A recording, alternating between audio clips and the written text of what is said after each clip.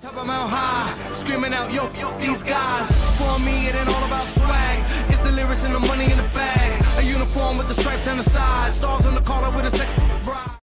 What's up, everybody? Mike from Talk to the Mike here with another interview, and I'm here again with. Your boy Choclair. What's up, Mr. Chisnak from the T Dot? What's up, everybody? How you doing? Thanks for being on the show again, brother. Yeah, for sure. It's always great to be with you. So, uh, what's what's new? What's new with you since last time? Uh, a lot of real good new stuff is happening. Um, like the touring, going back on the road is happening again, so that's been really cool. And uh, uh, seeing a lot of people that I haven't been able to, fans and friends, uh, that I haven't been able to see in a couple of years due to all this other stuff that's been going on, the pandemic and everything like that, and everything being shut down. So being able to get out there and uh, being able to get out there and just go and meet with people who support you and also friends, because then you get a chance to catch up with friends when you get into those, uh, you know, into certain cities that you haven't been into in a while. So it's been really good and being on stage again, like that's part of my love. So uh, I've just been up to doing a lot of more shows, which is really great. They've all been really good. Got more coming up uh, real soon now, and um, and also just working on music as well. Um, you know, I'm able to go and go to other people's studios and stuff now because things are open. Before it was just whatever I had at the house, you know. But like now, I get to do how I like to go and collaborate and uh, work with uh, you know work with people in person and create music from like you know the grassroots up, like from like from the cymbals to the last bass note and percussion, like, you know, like it, and stuff like that. And so it's good to be doing that. So I've been doing a lot of a lot of that, and it's just been great to go and see that people are still out there checking for the vibes because they're uh, you know it's, it's been a long time, been on the road, been uh, been doing this for a while, and uh, it doesn't seem like the energy has dropped. Exactly. Like I said, yeah, like during COVID, it was been tough because you like you probably got like a sample of music, you made the sample, you have to send it out, and you're not really with the person, so you it, you you're hoping that the vibe is going to be good. And now when you're in the studio, you're with the person. It it changes everything. People said before that it wasn't wasn't a big deal, that, but I find it's better to be in person. So I, that's I'm, I'm I'm happy everything's back to normal like that. So Yeah, yeah, that's a good thing. That yeah, it's always good. Like sometimes you just can't because uh, someone from I don't know California wants to do a track with you and everything, and it's easier just to send a you know send stereo stereo track and everything, and I go in the studio. But like if it's always possible to do it in person, then it's always good because then you get those creative minds just going at the same time and an idea sounds hot here and this idea is something you may not have thought of something that they may not have thought of and it works out great. So uh, being able to do that so recording new music uh, got new music coming out with me and socrates um, uh, also with uh, bishop and jordan. Uh, so there's a lot of um, a lot of new stuff coming out so i'm looking forward to it and uh, that's what i've been up to just you know getting out of that whole pandemic thing and, and getting right back into the same swing and a new swing awesome, awesome. Now uh, you say you're doing some touring. What's uh what's one of the cities that you enjoyed the most so far? Being back on tour. Uh, all of them, all of them, because again, it's like I think the last time I was out there was, I think uh, at some of these cities, and some of these cities I haven't even been to in even a longer while. But like since it was the uh, me classified a Maestro tour, the Canadian, uh, Yeah. that Canadian hip hop tour, and um, that was like 2018, I believe. So that's almost four years and stuff like that. So I got to get back out there. So like the love is still there. A lot of people say I remember seeing you uh, when you came out with Classified over here, over here. I get a lot of messages from people saying, "Oops, there we go. I knew that was about to happen." Uh, we get get a lot of people coming out and um and just saying like um you know, uh, are you coming to this city or that city or that city? Because that's the last time I saw you. I actually I just got a message from somebody uh, who wants to write this article um, about me in uh, like one of those like Toronto blog or Toronto Life or something like that. I don't know which one he, he's going to put it for yet, but he was like, and it's it was uh, it was titled "The Best Show Nobody Ever Came to." Oh, And uh, yeah, uh, it's a pretty cool thing of it. It just he was talking about like when I was first starting, and I had a concert in Brampton, and he came, and it was only like maybe me and Solitaire, and it was only like maybe me and seven people there. Um, and uh, the host came out and said, "Yeah, you know, I know there's not a lot of people out here, but you know what, we're gonna just do it." And then I came out, everybody, and then he's just kind of just gave me a little summary of it, and he was just like, "Yeah, you know, but you guys came out, and you guys were just like, yeah, we're gonna do it for a practice show, so we're just gonna have fun with you, and you just tell us how good it looks." And so we did the show. He said it was amazing. He loved the effort that went into it and everything like that. And then he saw me in Sarnia with Snoop Dogg. Mhm. And he was like, it was even better. And he was like, because you took it serious the first time and now you take it serious this time. And so he's gonna do something about that. And uh, so like, yeah, th- these things are cool because I forgot I performed there. Uh, not with the Snoop, but the one in Brampton. Until he brought it up. And then I do remember it. He's like, Do you remember it? I was like, Yeah, I remember. We were all standing there on stage, like, is there a lineup outside? They're just holding up the line. Because back in the days, remember they used to hold up the line to make it seem like it was packed inside. but nope, that was our night. But uh, it went really well, and they, were, everybody that was there was very supportive. And this was like right at the beginning, like you know, where some people didn't know to come or not to come, you know, to the show. So uh, it was good though, and it was good that he remembered it. That he wants to go and do an article on it. So that's dope. Oh, that's nice. I'm looking forward to seeing that article. So I'm gonna want to check that out. Yeah, So, as soon as uh, I find out when, uh, I'll let you know. I just don't, I don't know when, but he just asked me if he, I'd be interested, and I said, yeah, of course. Okay, perfect, perfect. Now uh, you said you have some new music coming out. Is there anything coming out soon before the end of 2023, or will be all next year? No, before the end of 2023, probably before even October. Um, I have a couple of music. Uh, I'll definitely have two, two uh, singles before the new year, and if it all works out and plans out the way it's supposed to, I'll have like an album out by hopefully Okay. by my birthday in March next year. Awesome, awesome. You you have to come down to Montreal for that and we'll have a party for your birthday. Now, now that Oh, everybody can yeah. travel. Yeah, yeah, yeah, yeah. Now, yeah, I definitely want to get back down to uh, Montreal. I'm actually going out to the East Coast real soon. This, this, uh, just coming up. Like, uh, Ah, yeah. So that's going to be nice again. Well, East Coast, I haven't been out there in even longer because we didn't do the Canadian Classic Tour on the East Coast. We just did west all the way up into Montreal, and that's where it stopped. And um, so yeah, so we didn't get to go to Halifax, St. John, St. John's, Truro, uh, uh, PEI, you know, like places like that. So Fredericton, everything like that. So it'll be great to go out there. The first time, probably it's like six or seven years. nice. That'll be that'll be fun. That'll be like uh, kind of like uh, reliving all the old memories and everything too. So Yeah, yeah, and I, and there's a lot of great people out there, and I have a lot of great memories and friends out there. So, yeah, it's gonna just be like all of a sudden everybody's gonna want a free ticket, and I'm gonna be like, you know, it's only ten dollars or twenty bucks. You should support me so that people get the money, and then exactly. I, yeah, bring me back more often. Randy from Trailer Park Boys sent out there. It's be like ten dollars or two Dairy Queen coupons. You know, like like you know how he does when he's like smoky and stuff for Trailer Park Boys. yeah, yeah. It's So, like, uh, yo, you're my you're my friends. You should be paying. save the ten bucks for the show. Exactly. It's not expensive. It's not like it's you know it's, it's more expensive to go eat at McDonald's than to go eat the, the, go the the show. So yeah, if it was a Janet Jackson concert and I was opening, ah, okay, I would try and get you in. This is Yeah, my yeah. concert. Just, just pay the ten bucks. so uh, you still I'm, I'm assuming you're still a big wrestling fan like me. So yes. uh, what have you have you been watching more AEW? Are you watching more E? WWE? Still on the WWE. Like I'll see highlights, but it'll be like um like some of the wrestlers that I know that came over to AEW from WWE. Mhm. Um so like, you know, like when um the one that's married to the why am I not even get his name right? The, the announcer from Canada, Renee. Yeah, Renee Young. Yeah, what's his uh, um Uh, yeah, yeah, goes by uh, what's the name now? Uh, John Moxley. There you go. John Moxley, yeah. Like so, like if I see like a clip, because I I don't really do like the, well, I don't do cable anymore, so everything is on like streaming. So like I'll just watch the highlight clips on the on YouTube and stuff like that. But yeah, like so when like him comes up or Jericho comes up or something like that, even Cody Rhodes before he changed, I Mhm. would um I check it out, but I don't know. I just have this loyalty to WWE. I don't know why. I don't know why. Uh, like I'm sure they have great wrestling over there, but I don't know. I just I it's all my life. It was WWE. You know, so uh, I know the wrestlers. I know when they come back. I know their history. I know. I just know the story, and then I don't even have to go and look at the.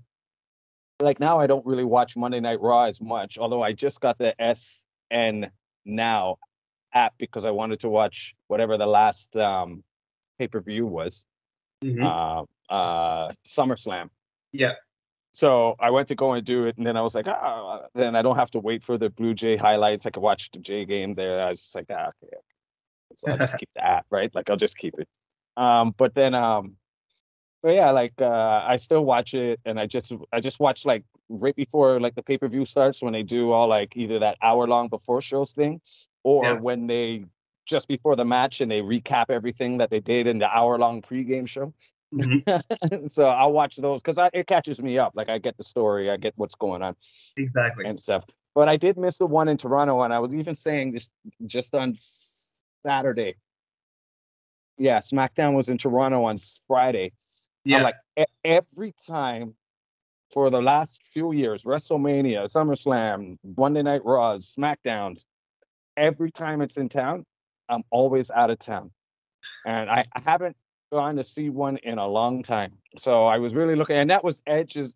You know, it's the funny thing. The week before that, Mhm. I was going to go to the Blue Jay game where they retired Bautista. Mhm. So I was like, oh, okay, but I didn't know they were going to do it. But that was my whole plan. I was going to go down. I was doing the show on the Friday, go down and um, no, I was doing a show on the Thursday, a show on the Friday. It's going to go watch the game on the Saturday, and then come back home where I live now, up near London in St. Thomas. Mhm. And um, but that didn't work out. And then so Sunday, I'm looking for the highlights, and they were like, "Oh yeah, Bautista retired." I was like, "Yeah, I was supposed to be at that game." Wow. Yeah, no, you and then I, on a one day contract just to play the one game just to retire in Toronto. So just to retire in Toronto. Yeah, like you know, and um, and then then Friday that just passed, I was doing something on the Friday, and then I go and I look on the Saturday to watch like the top ten SmackDown highlights on YouTube, and uh, and I see uh uh Edge doing like a you know like a retirement speech, and I didn't realize it was in Toronto. Then I remembered back in because they do it so far away back in May that it was like SmackDown coming to Toronto on August 18th or whatever day that was. And it's like every time I miss it. so I gotta keep I gotta put some I gotta use this phone to a better source uh for a better purpose and make sure I put my notifications and cal- ca- calendar notifications and everything in there like two months in advance so I can just go and plan for it. exactly. So yes, there was a. I'm not sure if it was Edge's retirement or not because he didn't say he was retiring. He just said that uh, his, his, contract expired. He can always renew a new contract, and there's always uh, there's that rumor going around now that he's going to AEW. I'm not sure if that's true or not. So they got that spreading around everywhere now that he was seen talking with Christian a lot, and they're they were chit chatting. So I'm not sure that's how much of that is true or not, but be interesting. Yeah, well, hey, you know, like Christian still wrestling, Edge can still wrestle, so you know that might be good. You know, it's whatever. It's whatever the business is the business. Maybe they're going to give him more dollars over at AEW, and Exactly. you know, and and put the Edge and Christian connection back together, and you know, and do something big over there. And eh, who knows? Like whatever. I, I'm still a fan. I just more. I don't know the stories that are going on in AEW. Um, I, ba- I well, I don't barely know, but I know more of the stories that are going on in WD, the WWE. So Mhm. I just, yeah, I just, but that's that's what I stick with. I stick with that one. I'm I'm just used to it. At this moment right now, who's your who's your favorite wrestler right now in the WWE? Um,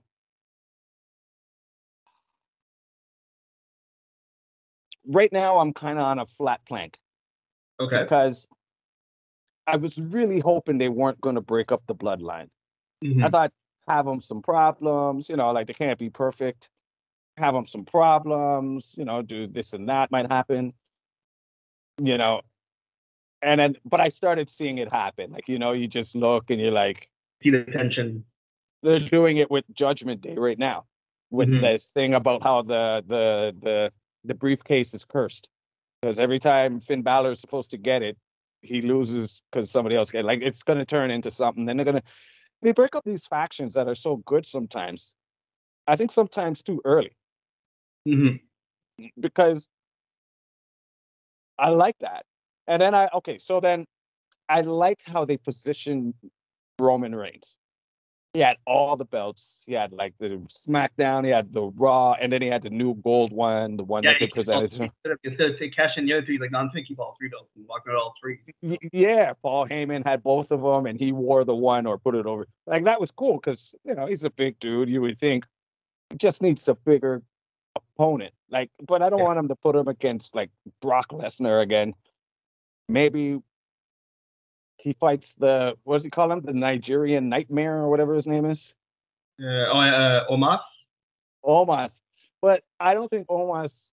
Like, I'm not saying uh Roman Reigns is not a good, a great wrestler, but I think Omos is not as good of a wrestler. He's not at the level of uh, like at that yet. So Yeah, he just he's the great Khali, just a big chop, big punch, pick you up, throw you down, step on you, throw you into a bunch of things. You know what I mean? Like one of those type of stuff. So exactly. I don't think it would be an interesting match. So it would have to be someone that, you know, that could push Roman to wrestle even better. Can't be a John Cena.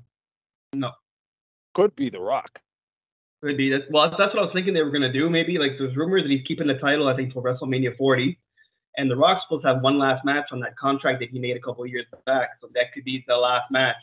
The Rock, you know, for like who's who's the real tribal chief? Like they're gonna keep building it up to that and having that at WrestleMania 40 because it's like you know like the 40th anniversary. That's that's a very good angle because so Jay, which one's out? Jay is out or says he's out. Yeah, Jimmy is still around, and then you have um, uh, what's the other one with the thumb in the throat? uh, Sikoa. Sikoa, and then you have Roman Reigns. Yeah. So imagine if you look at it like, okay, well, then you're gonna have these guys all doing whatever, whatever over here. So then, like you said, the real tribal t- chief is gonna come in, and the Rock's gonna come and try and connect all this other stuff, and they're gonna say blah blah blah, and whatever's gonna come in. Then, who's the Ro- Rocky Johnson? Is he still alive? No, that's uh yeah, The Rock's dead. No, he's not alive anymore. What about um, Rikishi's still alive? Yeah, Rikishi's still alive. and Yoko. So one of the older elders hmm are gonna come. This is uh, I don't know. Maybe I should try out for a WWE writer or something. one of the older, one of the elders they're gonna come in and be like, "This has to be settled in tribal ways" or something like that. And that's where they set up the Rock against Roman Reigns to go and bring peace and harmony back into the family. Because I, I was watching something on YouTube. They got like there's like 15 of that bloodline in wrestling. Period. Oh yeah, they're they're, they're everywhere. They're everywhere. And they'll all come down to the ring, and it'll be the Roman Reigns against The Rock WrestleMania 40. And I- all the big guys are there. Everybody's there. Like they set it up like that. I don't know. I think that'll be big.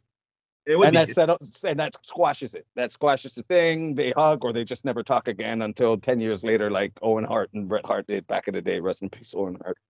Exactly. Yeah, that'd be that'd be that'd be that'd be that'd be like the crucial end of the Rock too. Could like so that could that could announce his retirement, having that one last big match in the family type thing. So and then he could he could drop the belt because that for and here's the question you can answer me um if you know it um why they moved pay-per-views from Sunday to Saturday but then they could go and Rock could drop the belt on the Monday and be like you know this was my final match and then retire as champion and just come focus on his acting career and come back every once in a while and what like it, it leaves the doors open but he's not obligated to wrestle anymore it just shows face well, that's what That's that's, what my- the Rock, that's what the Rock Yeah. does now. I think that's what Cena's trying to do right now too, because he really wants to Yeah. do more acting. So. And there's a couple other wrestlers that want to get into that too now. For like Seth Rollins wants to get into acting because he's he's in the new uh, Captain America movie. Uh, Roman Reigns wants to do more acting too. So you got all these people that want to get into more acting and less wrestling, right? But less toll Yeah, on their body as well. yeah and they're acting when they're doing their when they're doing their promos they have to get in character or when they're wrestling even it's just that they don't really get chopped with a Ric Flair chop in the movie well maybe sometimes they do but Yeah. They don't have to take the bump they don't have to take the bump but they gotta act still to yeah so yeah man so that's what i'm thinking i still watch wrestling i don't have necessarily the time. Not even not the interest, but I just have other things to do where I don't watch it as often as I used to. I used to watch it, sit down, watch it every Monday night, every Thursday. Then they moved to Friday, then moved to Tuesday, then moved Thursday, and now it's on Friday again. Um, I just watched the highlights, and then I had to watch it live because I wasn't as internety as I was back then. nice, nice. Now, uh, last thing I'm gonna ask you about is movies. Have you seen any new movies lately? Have you you watched Yes. a lot of movies? Yeah, oh yeah, yeah, yeah. Like I, I, I'm usually if I'm at home, I'm usually a one movie a night type thing. So like I'll just so- and sometimes they're so good that I see. Okay, so I'm a guy that talks to the TV, so that Okay. either leads two things. It's like we were, how we were just talking about wrestling. It's like wrestlers. It's like you either want them to boo you or cheer you, but if they don't make no noise, they don't care about you. Mm-hmm. So, you know, like they want to boo you so bad, like how they boo uh Dominic, Dominic. Mysterio. like they don't even let him talk. They don't even let him talk. Like they boo him out. But that's an acknowledgement. And then when whoever comes down to the ring that they love, like Edge or whoever, they cheer. You just walk down the ring and everybody's like eating their popcorn. The music, because there's not enough noise from the crowd going around, the music's just echoing around off the whole building. Like, you know, like nobody's even caring. They're like, who's this? Someone So, sleeping in the it- corner. Yeah, so like when I watch movies, I'm like that. If I don't really care or if I drift, and actually me drifting off into a sleep is not a non-common thing because I'll just I always have to watch a movie three times because I'll either I'll watch the beginning for some reason because it's always usually later in the evening or something like that. Then I'll drift off at the end and maybe wake up when the credits go on, or I watch the beginning to the middle and fall asleep at the end, and then just go to put it back on and it says rewatch and I'm like, I didn't even finish watching this. Um, so yeah, so I do that usually a lot of nights. And um, yeah, I just watched um, the new Matrix, the third one, Oh. Resurrection or something like that. I thought Mhm. it was cool, but it was like what I found about the movie was that it was it seemed more like a love story rescue mission instead of like how the other ones were where they were saving the world. Like I know they still had a save the world element in there, but Mhm. They're all, it's all about Trinity. Go get it. I just watched it, so that's why it's so fresh in my in my head right now. Uh, I just watched it. Um, Yeah, funny. We watched. Yeah, we watched it about like four days ago too. So we, we yeah, I'm like, let's watch the Matrix. Okay, I'll watch that. So yeah. Um, I, yeah, I watch I watch a lot of random movies. I'm watching this Joe Pickett uh series on Prime right now. It's one of these like westerns. I'm kind of into western movies, war Mhm. movies, uh, history movies like a Troy or Gladiator or something like that. I, and I and I randomly, I just randomly go out and look for them. Like I'll just go and I'll type in top whatever movies, western movies of whatever 2023. And then I'll go and then I'll just go on YouTube and then I'll just be like and search up the trailers and see where Yeah, it's playing. Yeah, and then I'll just sit and watch it. And then this is where it gets to the uh baby face and the heel. If the movie's real good, then I start arguing with the people that do dumb stuff, like when Jason's chasing everybody and they run upstairs. And they're like, "Well, where are you gonna go from upstairs?" So I'm like yelling at the TV. like, yeah, I, I do. it. I'm like, like they, they hide in the closet. It's like, why are you hiding in the fucking closet? You know gonna Yeah. there. Like, yeah, I just or, start and I or they, get Huh? scared and they run outside. Don't run outside. If, if, if, if, if the killer if the killer calls or like like scream when they say I'm outside watching you, don't run outside. Stay inside. yeah, yeah, exactly. Like figure out something. Or when they run and they always fall, and yeah. you know, but like then again, But or, or the, the the cliche when they always say I'll be right back. You're never coming back. yeah, you're never coming back. Especially if you, especially, especially if you're on like a lake and you have like one of those docks with the boat hanging on the side. You're Oh, yeah. never coming back. So I go camping and someone says I'll be right back. I'm like, see you later. Nice knowing you. But uh, yeah. but yeah, well, but then on the but on the heel side, then uh, if it's such a sucky movie and I already gone halfway through, mhm. then that's where I'll be like, now I'm just like complaining at the movie. Oh, come on, you didn't know, like you know, doing all this. But then I'm always in. I already invested like half, like half the movie time into it, so I'm just like, I just gotta wait it out now, like just so I could see how bad this movie is.